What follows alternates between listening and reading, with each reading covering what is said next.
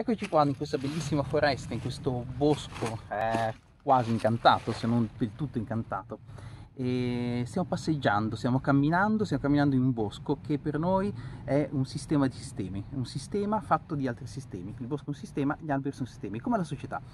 E, e perché vi stiamo facendo questo video camminando? Perché per noi il viaggio, il camminare, il muoverci fisicamente dentro questi sistemi è la chiave del nostro approccio, è la chiave della nostra metodologia di ricerca. Noi viaggiamo, noi camminiamo, noi andiamo fisicamente a osservare, guardare. Cogliamo quali sono gli aspetti di novità, quali sono le cose che funzionano eh, intorno a noi e dopo trasformiamo tutto questo in modelli che sono un po' la somma di quello che abbiamo trovato.